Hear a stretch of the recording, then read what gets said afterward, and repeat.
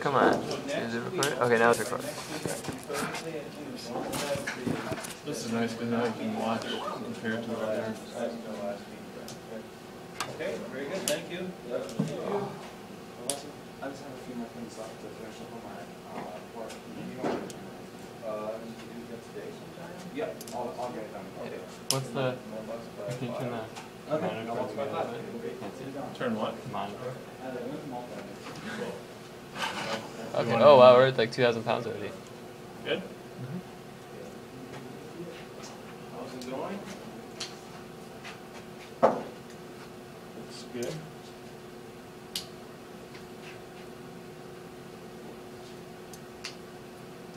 Oh, so it's overlaying on top of the previous one, that's interesting. Is that, is that correct? 2,200. That's pretty similar to earlier.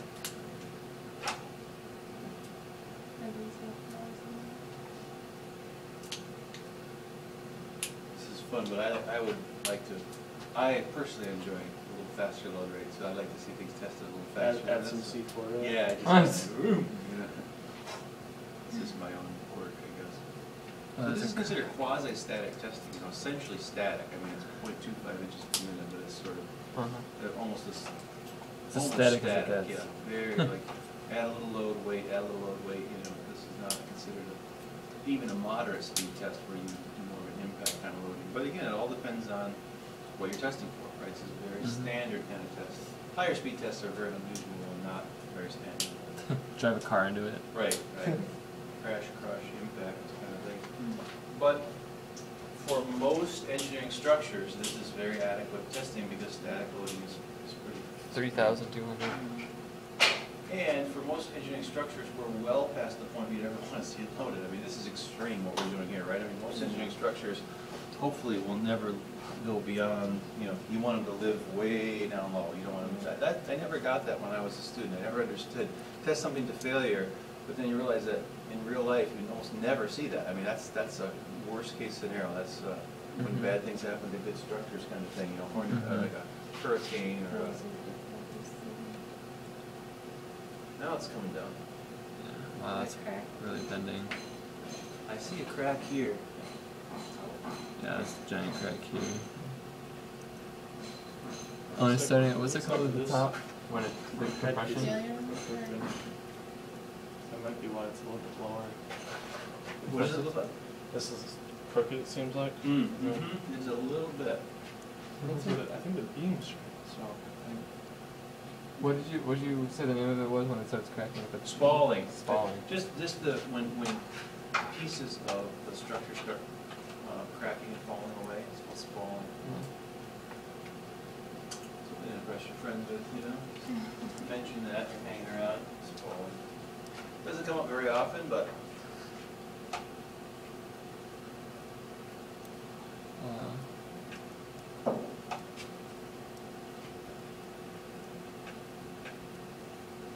had some trends and It's- loading. It's certainly started very consistent with the previous beam, I mean, almost, almost overlap as far as the initial stiffness, but like the failure, the specific failure is a little.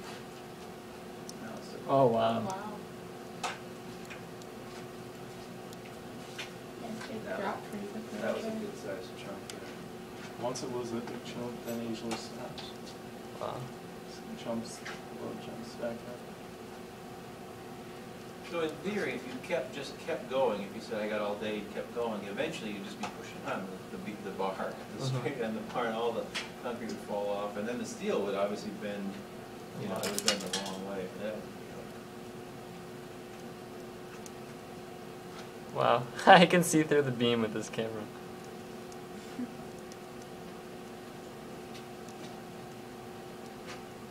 I'm surprised it's mostly failing in compression for like I was expecting more of a maybe it is like in tension a lot. Oh, you mean like chunks off the bottom? I feel like yeah, it would have just been like ripped apart on the bottom Mhm. first, Mhm. which is sort of cracking. That, that reinforcing bar, as long as it's, Okay. as long as Wow. that reinforcing bar is, is bonded pretty tightly, 2,000 that's why it has all the grooves on it, as long as Uh-huh. it's bonded to the concrete, it, it acts to prevent that, it, well, it's really holding the bag, so that's why it's not cracking on the bottom as much. straight. Yes, yes, straight up, right and some at kind of down in the forty-five. That's this one. Can you see my hand on it? Uh, no, there's a 45 over here. So that's, I think, you know, it's up to you, but however you want Oh, it's done. Did it stop? Every time we're thinking about it, it decides what's up. So the software is just programmed that when the load drops to some percentage of its peak value, I'm not even sure